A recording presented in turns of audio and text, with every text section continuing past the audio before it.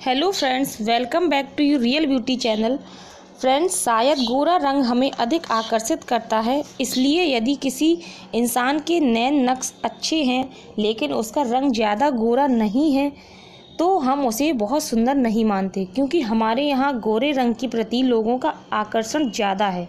खूबसूरत चेहरा और हेल्दी स्किन के साथ ही यदि रंग गोरा हो तो ऐसा व्यक्ति अधिक आकर्षक लगने लगता है। लोग गोरे होने के लिए कॉस्मेटिक्स यूज़ करते हैं।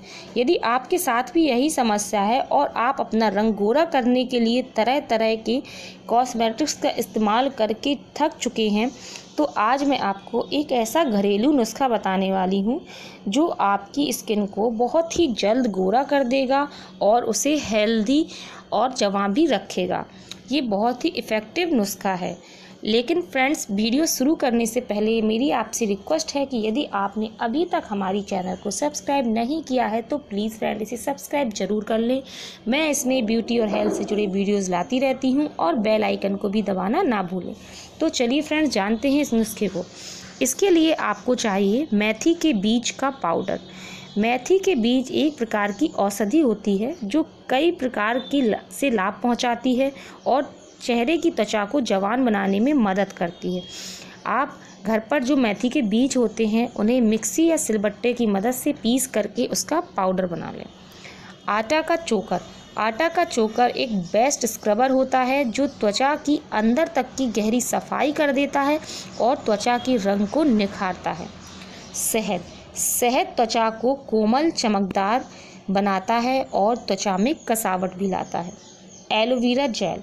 एलोवेरा जेल त्वचा को सॉफ्ट और कलर साफ़ करने में मदद करता है।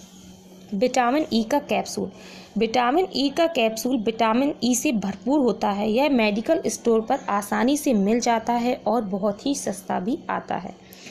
इससे चेहरे की स्किन को ज़रूरी पोषण मिल जाता है और यह त्वचा को जवान रखने में मदद करता है।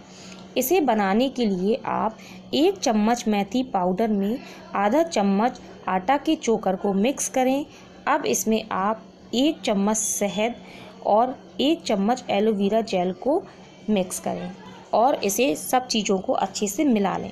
अब आप इसमें आवश्यकता के हिसाब से गुलाब जल या दूध मिला करके एक अच्छा गाढ़ा सा पेस्ट बना लें।